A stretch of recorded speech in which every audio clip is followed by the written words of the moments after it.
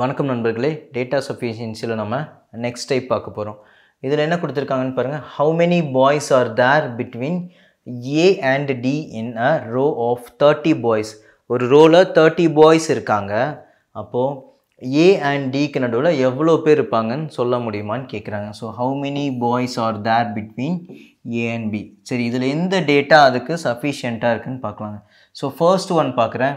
A is sixth place away from பின்னு சொல்கிறாங்க ஏ எப்படி இருப்பார்னா பியில் ஆறு பேருக்கு அப்புறம் இருப்பாருன்னு சொல்கிறாங்க okay who is twentieth from the left எண்டுன்னு சொல்கிறாங்க இப்போது ஒரு ரோ இருக்குன்னு வச்சுக்கலாங்க.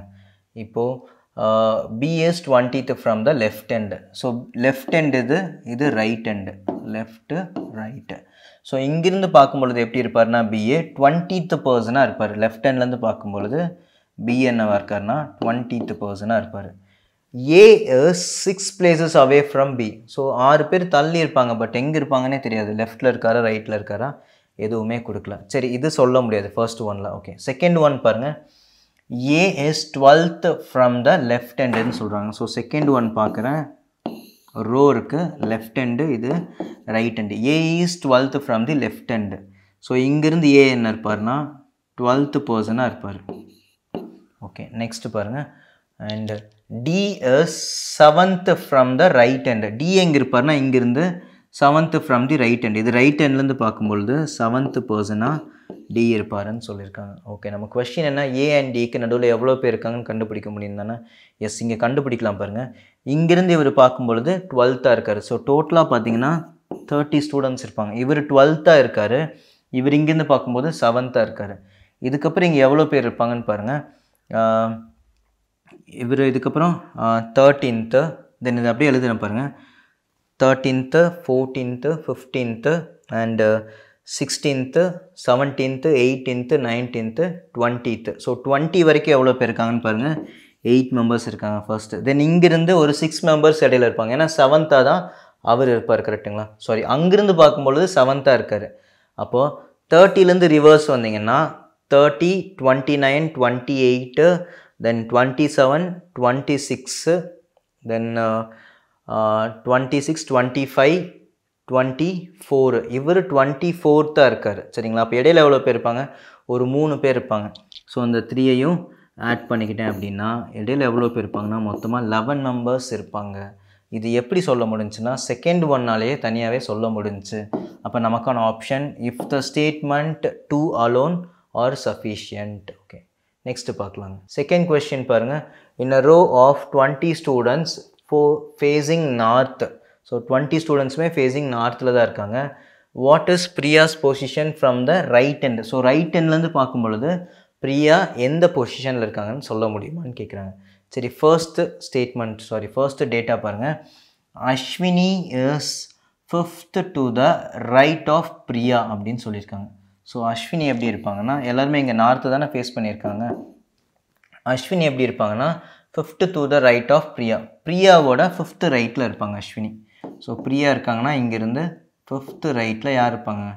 அஸ்வினி இருப்பாங்கன்னு சொல்கிறாங்க okay and eighteenth from the left end so left எண்ட்லேருந்து பார்க்கும்போது எயிட்டீன்த்தாக இருப்பாங்க. ஸோ இங்கே லெஃப்ட் எண்ட்லேருந்து பார்த்தோம் அப்படின்னா எயிட்டீன்த்து ஸோ இது லெஃப்ட் எண்டு இது ரைட் எண்டு இங்கேருந்து பார்த்தோம் அப்படின்னா இவங்க எயிட்டீன்த்து பிளேஸில் அஸ்வினி இருக்காங்க.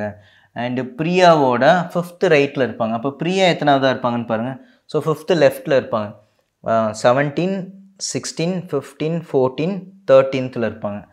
அப்போது பிரியா எவ்வளோவா இருக்காங்கன்னு பாருங்கள் பிரியா தேர்ட்டீன்த் பிளேஸில் இருப்பாங்க. இவங்களுக்கு இடையில ஒரு அஞ்சு பேர் இருப்பாங்க. So fourteen fifteen sixteen seventeen eighteen sorry அஞ்சு மெம்பர்ஸ் இருக்கணும் இல்லைங்களா? ஸோ ஃபிஃப்த்தாக தான் இருக்காங்க. எஸ் ஸோ ஃபிஃப்த்தாக இருக்கும் பொழுது இங்கேருந்து பார்க்கும்போது ஃபிஃப்த்து பர்சனாக இருக்காங்க. எஸ் இப்போ பிரியாவோட பிளேஸ் தெரிஞ்சிருச்சு.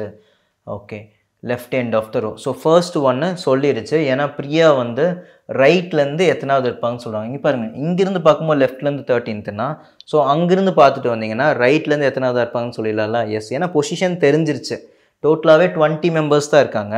அதில் இவங்க எத்தனாவதாக இருப்பாங்க? தேர்ட்டீன்த் ஒன்னாக இருக்காங்க. ஸோ ரிவர்ஸ்லேருந்து கவுண்ட் பண்ணிட்டு வந்தால் சொல்லிடும். So first one sufficient okay second one பாருங்கள் Meena is third to the left of Priya. இங்கே வந்து அவங்க எத்தனாவதாக இருக்காங்கன்னு கேட்கல சரிங்களா? ரொம்ப டைம் வேஸ்ட் பண்ணிக்க வேண்டாம். சொல்ல முடியுமானா? எஸ் சொல்ல முடியும். Okay Meena is third to the left of Priya. Meena பார்த்தீங்கன்னா third to the left of Priya. So பிரியாவோட third லெஃப்டில் மீனா இருப்பாங்க. ஓகே தென் நெக்ஸ்ட்டு பாருங்கள் and eleventh from the right end of the row so eleventh from the right end of the row okay Meena எப்படி இருப்பாங்கன்னா பிரியாவோட third லெஃப்டில் and eleventh from the right end of the row so ரைட்லேருந்து பார்க்கும் பொழுது இவங்க eleventh பிளேஸில் இருக்காங்க. இவங்க லெவன்த்து பிளேஸில் இருக்காங்கன்னா இவங்க என்னவா இருப்பாங்க? இங்கேருந்து ரைட் எண்ட்லேருந்து பார்க்கும்போது tenth place then eighth place tenth ninth eighth பிளேஸில் இருப்பாங்க. ரைட் ஹேண்ட்லேருந்து பார்த்தா இவங்க எயித்து பிளேஸில் இருப்பாங்க. எஸ் சொல்ல முடியும்? நம்மளால் ரைட் ஹேண்ட்லேருந்து பார்க்கும்போது எயித்து பிளேஸ்னு பார்த்ததுமே சொல்லிடலாம். அப்போ செகண்ட் ஒன்றுமே சஃபிஷியன்ஸ் தான் அது ரெண்டு பேருமே தனித்தனியாகவே ஆன்சர் பண்ணுறாங்க so if the statement one or two alone are sufficient to the answer okay next one then third question பாருங்கள் how many students are there between Raj and Ajitha in a row of forty students so forty students இருக்காங்க. அதில் Raj and அஜிதாக்கு இடையில எவ்வளோ பேர் இருக்காங்கன்னு சொல்ல முடியுமான்னு கேட்குறாங்க okay Raj is seventh from the left end so first ஒனில் பார்த்தீங்கன்னா லெஃப்ட்டு இது ரைட்டு ஸோ இங்கேருந்து பார்க்கும்பொழுது அவர் செவன்த்தாக இருப்பாருன்னு சொல்கிறாங்க Raj.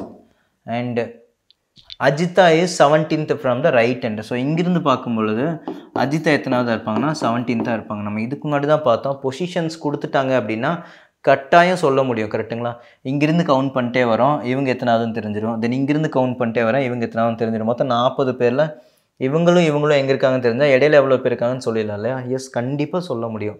பட் அதை கவுண்ட் பண்ணி சொல்லி நம்ம டைம் வேஸ்ட் பண்ண வேணாம். ஏன்னா அது நம்மளோட டார்கெட் இல்லை. எவ்வளோ பேர் இருக்காங்கன்னு சொல்ல முடியுமா? எஸ் சொல்ல முடியும்.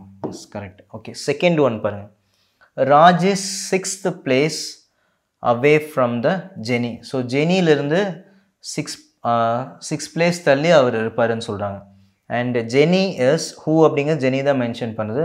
So Jenny is twentieth from the left ஹேண்டுன்னு சொல்கிறாங்க பட் இங்கே அஜிதாவை பற்றி பேசவே இல்லை இல்லைங்களா? ஸோ அஜிதா ராஜுக்கான டிஃப்ரென்ஸ் தான் நமக்கு தெரியணும். ஸோ ஃபர்ஸ்ட் ஒன் மட்டும்தான் சஃபிஷியன்ட் ஆப்ஷன் ஏ நன்றி நண்பர்களே.